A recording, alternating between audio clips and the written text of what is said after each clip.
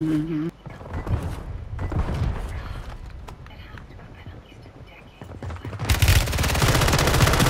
Oh, George, I did it in the real game.